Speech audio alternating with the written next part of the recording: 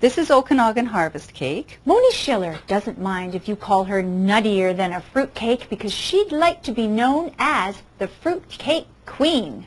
That's right. I want to become the fruitcake queen. So, of mm-hmm. course, I encourage people to call me nuttier than a fruitcake. Cut the dates with the scissors. That's what I do at home. Okay. And the apples I just do with a knife. But you have to be nutty to be baking fruitcakes in July. Well, in a kitchen. with no air conditioning. so, yes, it's a, it's quite a, a labor of love. Why what we're doing here. fruitcakes? The reason I started was because I used to make fruitcake and give it to people as gifts. And then people started to tell me that they were actually hiding the fruitcake from family members. So, Because it was good. because it was so good.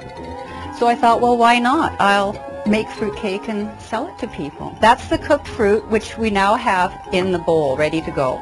Now comes the part that makes any fruitcake edible. Chocolate. I thought fruitcake was for Christmas. Well, I also make a product called Totally Decadent Fruitcake. But for this, the Okanagan Harvest Cake, I found uh, winery gift stores like to carry this because it's nice for tourists to take as a little um, souvenir of the Okanagan.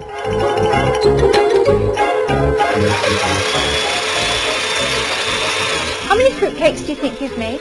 Um, well, last Christmas I sold a thousand, and I had some left over. I probably had 1,500 last year, and this year I hope to make double that. It's a lot when you look at it, and it's like childbirth. You forget about it. Now it just Now needs to be mix lovely it up. mixed. mix and mix, mix and mix. There's no way you can make, you know, do this commercially and have it taste like really homemade. Here they are. Eensy Oh, beensy. now do you put them all out in a row? I do. One batch makes how many cakes? Seven. Seven cakes? And Seven wee little tiny, li- laboriously sweated over cakes. Yeah, that's it. You are nutty. I know. I am amazed at the amount of work. I know. you that's see those little fruit cakes and you think, Well, it's nothing to it. fruitcakes. Okay, these look ready to come out. Person by person, my goal is to make fruitcake lovers out of fruitcake haters. There's a lot of people in Canada. It'll take a while. it's not going to be quick. okay, now rumming. Yeah, It's rum. it's rum. How much? Pour an ounce. It's mm-hmm. very hard to see from where you are. Tiny bit more. We don't want to be cheap.